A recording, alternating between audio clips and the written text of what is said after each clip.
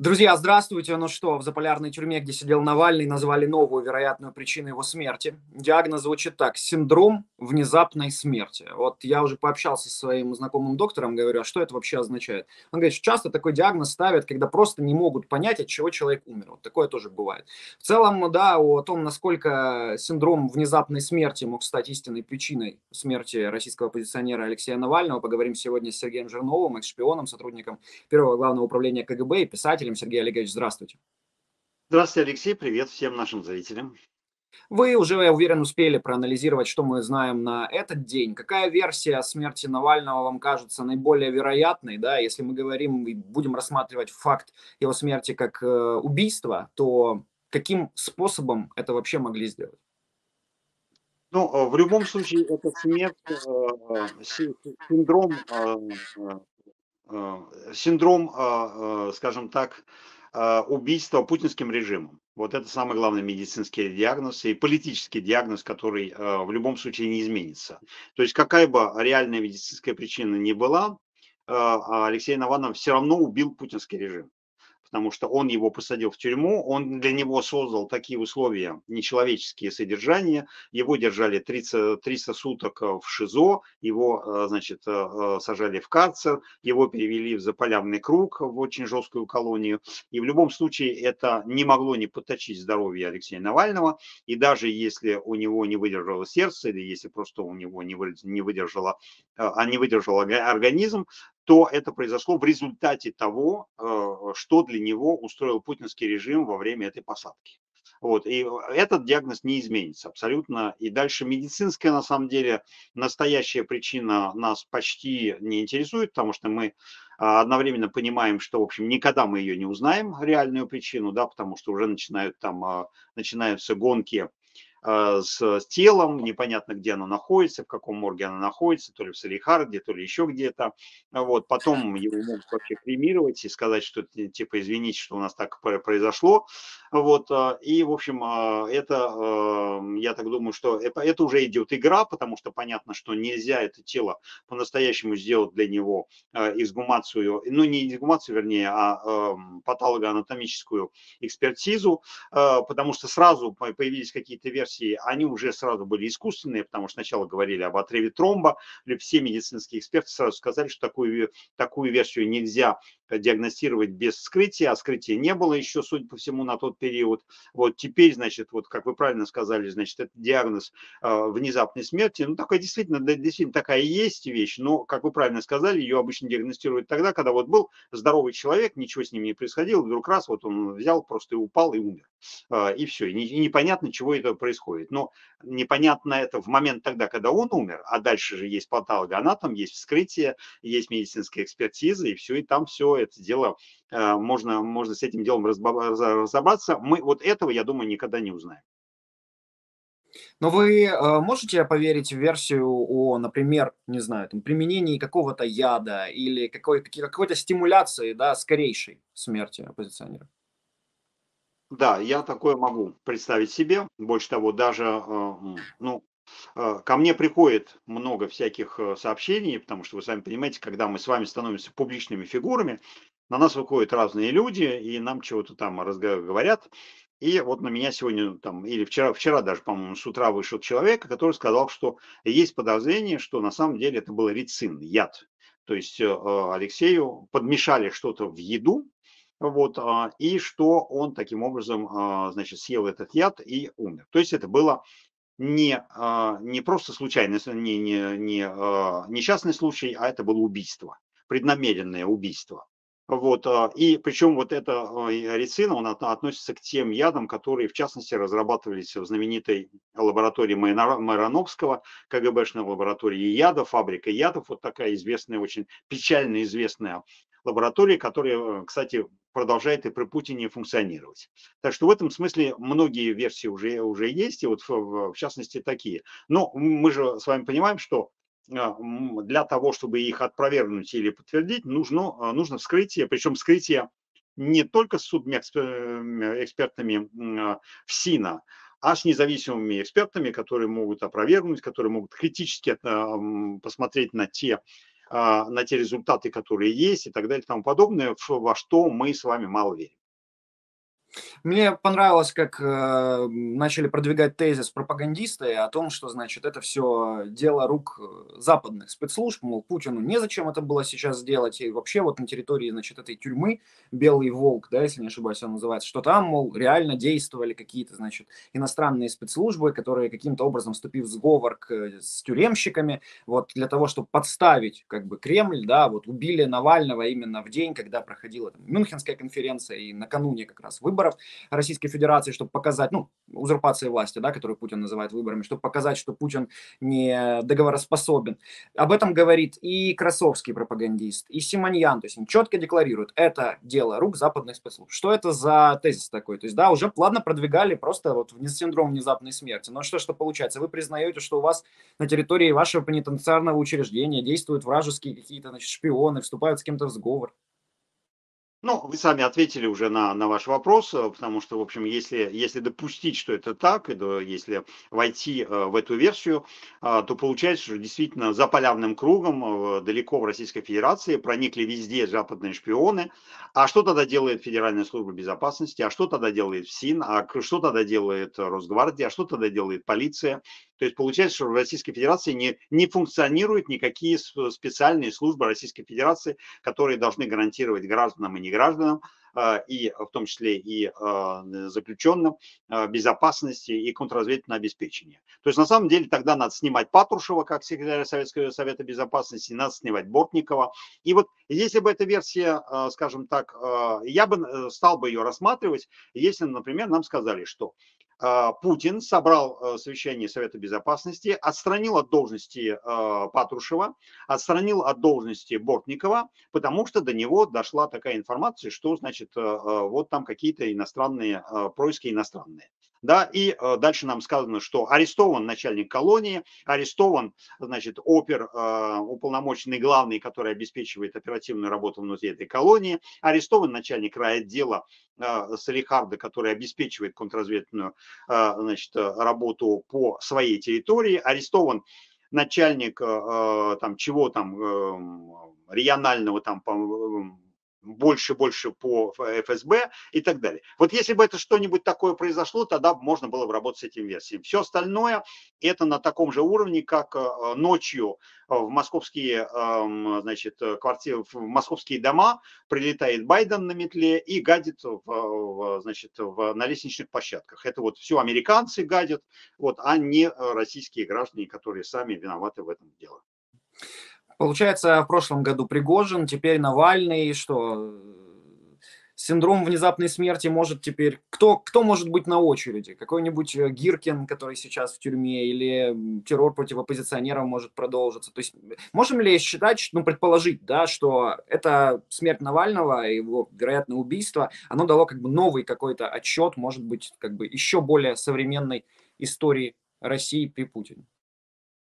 Оно, безусловно, дало отчет э, новой, э, новой истории, но другое дело, что вот мы сейчас должны, должны посмотреть, потому что если это просто будет разовое убийство Навального, тогда э, это, кстати, то, что я вам говорил несколько, несколько времени назад, там несколько недель тому назад, что на самом деле я лично ожидаю, что будет какая-то публичная большая, большая казнь. Потому что Путин это делал в 2018 году, когда устроил покушение на Скрипаля его дочь в Великобритании. И тогда это сработало как раз за две недели до выборов 4 марта 2018 года. Произвели это самое покушение. И я тогда уже объяснял, что это на самом деле политическая разборка, путинская, а никакая не разборка среди спецслужб. Вот. Такую же штуку я ожидал, что будет такое. Я, конечно, не называл никаких имен, то есть я не говорил, что вот конкретно Навального э, могут убить. Но я предполагал, что могут убить какого-нибудь а, очень видного оппозиционера высокопоставленного за границей. Вот, э, вплоть даже до вот, там, Чубайса какого-нибудь там, допустим, могут там убить, да. А какой там. сигнал да, должны понять люди, ну, как бы, те, для кого вот эта казнь организовывается? Сигнал очень простой. Сигнал в, два конца идет. Первое, на Западе э, он показывает, что Путину наплевать абсолютно на любые санкции, на любую, на любую реакцию Запада, потому что у него, в принципе, уже нет никакой репутации, поэтому ухудшить свою репутацию он не может. А внутри страны он должен показать, что он сильный человек. И, кстати, на Западе тоже он показывает, что он сильный человек. То есть вот всем тем, кто э, любит сильную руку, вот всем трампистам, там, я не знаю, там, Марина Ле Пен, там, и так далее, прочие всякие а, так сказать, праворадикальные а, элементы, которые постоянно а, ищут какого-то вот такого сильного лидера, если не харизматического, то, по крайней мере, такого, которого надо бояться, вот типа там Сталина и так далее. Вот. Ну и в Российской Федерации то же самое, что Путин на самом деле не старый пердун вовсе, что он не, не боится никого, что вот он может убить, и ему без разницы, а, что его будут обвинять и будут вешать на него, что это все шито будет белыми, белыми нитками. Ему абсолютно наплевать, потому что он знает, что никакого расследования не будет, но зато он показал свою силу перед своим а, значит, ядерным электоратом. Тут просто еще тревожный симптом. Я вспоминал сегодня пропагандистов российских, и вот Соловьев и Симоньян, они прям в прямом эфире федерального телеканала обратились к э, Борису Надеждину и поблагодарили его, мол, спасибо, за то, что предоставили нам в компетентные органы список из 100 тысяч анкет неблагонадежных. Причем а, там звучали тезисы людей, которые ставили свои подписи за надежду, нам называли агентами влияния, недо, недоуничтоженными навальнятами, врагами народа. И вот теперь, знаете, сразу после этого вот смерть Навального становится жутко от того, что, может, Симоньян и Соловьев не шутили насчет, мол, спасибо за 100 тысяч анкет. Теперь этим людям тоже, может, следует быть более осторожными. Ну, а, вы знаете, это, конечно, а, абсолютно зашкаливает а, уровень негодяйства этих людей, то есть вообще их обсуждать бессмысленно, но и мы считали, что, в общем, они уже дна достигли, но вот они нам показали, что дно на самом деле еще далеко, и что они могут опуститься еще, еще ниже. Ну, кстати, Гурулев вообще призывал расстрелять 20% населения Российской Федерации, да, то есть в этом смысле они все ничего нового не сказали. Вот, но мы, кстати, уже когда с вами когда-то обсуждали примерно э, такую же тематику, э, мы всем этим людям, ну, по крайней мере, с моей стороны, я им напоминал, что э, все те люди, которые занимались поджуживанием Сталина в свое время на проведение чисток каких-то, они все были уничтожены в результате этих чисток. То есть на самом деле все эти симоняны, все эти, они все будут точно так же уничтожены. То есть сначала, может быть, присадят эти 100 тысяч, которые подписали за Надежду на 200 тысяч. Ну, во-первых, а, на всех не наберешь столько места, потому что столько места нету в тюрьмах. Вот, то есть это надо тогда выстраивать э, ГУЛАГ заново, то есть надо строить новые бараки, строить какие-то А Гурулев как раз это и предлагал, между прочим. Вот, ну, э, одно дело предложить, другое дело сделать, да. Вот. А, и с другой стороны, они э, забыли историю, что все те люди, которые Сталина к этому делу поджуживали, и самое главное, даже исполнители того, э, что они делали, э, регулярно волнами уничтожались. То есть Ежов пришел и уничтожил Егоду, Егода пришел, Берия пришел и уничтожил Ежова, а потом убили и Берию, и Абакумова, и, и Меркулова, и всех тех, кто... То есть, грубо говоря, ни один нарком НКБ, НКГБ Э, безопасности не кончил э, своим э, своей смертью, начиная даже с Минжинского, да, то есть ОГПУ еще. Вот, то есть в этом смысле это, так сказать, ничего нового в истории России нету, это просто поджуживание. Вот. Ну а дальше посмотрим, как, как, как к этому будет относиться российское общество. Ну, друзья, Надеждин смог э, передать в Центр избирком 100 тысяч подписей. Я вас э, попрошу, друзья, поставить 100 тысяч лайков этому видео. Не стал тратить наше время в начале для того, чтобы перейти к главной теме. Попрошу сейчас. И, друзья, подписывайтесь на YouTube-канал Сергея Жирнова, а также на YouTube-канал Дмитрия Гордона или Сабацмана в гостях у Гордона. Любопытно, что смерть Навального прокомментировали, ну вот все, да, кто только можно было, включая вероятную дочь Путина Луизу Розову. Э, внебрачную дочь, она опубликовала пост в день смерти Навального. На черном фоне было написано, что это политическое убийство. Девушка фигурирует в публичном пространстве редко, но всегда, когда появляется о упоминание, она везде э, подчеркивается, что она, значит, вероятная дочь Путина. Что это за диверсия такая? Что за какое это еще политическое убийство? Он же внезапно умер, Навальный. А, ну, во-первых, девочка э, сама себя раскручивает да, потому что у нее есть какие-то там инстаграмы, какие-то ютубы, Вот, она, кстати, по последний раз там крутилась где-то там в 20-21 годах. А, кстати, тогда ее тоже спрашивали, там, вот, когда Навального начали присаживать, а, вот, когда Навального травили в 2020 году, ее, значит, спрашивали, вот, можно ли там государ... может ли государство значит, убивать каких-то людей. И она тогда сказала, что у государства, конечно, такое право есть, потому что, вот видите, значит, какие-то там капиталистические страны, они вообще еще, еще хуже, чем Российская Федерация. И если Российская Федерация это делает на благо страны, то почему бы не убить одного человека? То есть в этом смысле надо сказать, что, возможно, за 4 года она немножко поумнела, вот, и, значит, теперь уже имеет другое, другое видение всего этого дела. В остальном а, никто никогда не может подтвердить, что она какой-то является настоящей дочкой Путина. Никто не может подтвердить, никто не видел никогда эту Кривоногих вместе с Путиным, точно так же, как никто не видел никогда Путина с Кабаевой, никто не видел Путина с ее, а, с кабаевскими э, отпусками. Вот, и по этому поводу на, на, на эту тему мы многократно с вами уже говорили, что я в это дело не верю. И даже если у них есть какие-то э, какие дети, вот какие-то от Путина, э, то для меня это пробирочные дети, для того, чтобы Путину создать э, э, генофонд э, в случае, если у него там будет что-нибудь какие-то там отмирать какие-то органы, чтобы можно было иметь совместимых доноров, которые могут отдать ему почки, сердце, селезенку, печень, там все что угодно. Вот. Или стволовые клетки для того, чтобы, значит, там как-то бороться там какими-то там онкозаболеваниями. Вот, ни, ни, ни, ни во что другое я не верю. И плюс э, я считаю, что и Кабаева, и эта самая вот э, дама, э, мама этой девочки, они являются просто кошельками Путина, просто у него деньги разложены по разным, по разным местам, и таким образом там несколько миллиардов рублей разложены в том числе и по этим кошелькам. Да, я вот, кстати, гуглил, когда эту Светлану Кривоногих, вероятную эту любовницу Путина, от которой у него вот эта вот дочка вероятная, э, нашел любопытную информацию, что вообще ее называют чуть ли не одной из самых состоятельных женщин России, она когда-то была уборщицей, а сейчас она совладелица крупного российского банка и ночного стриптиз-клуба. Вот, в общем, как-то да, мы с вами обсуждали интервью Кабаевой молодой, которая говорила, что очень хочется, чтобы вот денег, и квартир. Вот тут тоже получается уборщица такой карьерный путь до э, совладельца крупного российского банка. А все из-за дружбы с Путиным. Да, любопытно вообще, какие делают карьерные, карьерные взлеты происходят у тех, кто занимается сексом с Путиным. Слушайте, э, э, ну, можно много, конечно, мрачно шутить, но в целом, да, вот эти вот женщины, сейчас, как вы думаете, какой-то контакт между ними поддерживается вообще, между ним, между вот этими вероятными детьми, или же как бы это все осталось в прошлом? Я вообще не верю в этих женщин. Я вообще не верю ни в каких любовниц Путина, потому что Путина мы в основном, когда он проводит отпуск, мы его видим с голым торсом с Шойгу, с Ралдугиным э, и с прочими всякими, с Медведевым, а не с какими женщинами. Я его ни с какими женщинами не видел. И поэтому, э, так сказать, спекулировать на, на, на тему, являются ли они его там женщинами или не являются, я вообще э, считаю, что бессмысленный разговор. Э, то, что кошельками они являются, это точно совершенно. А то, что они являются его любовницами, очень сомневаюсь.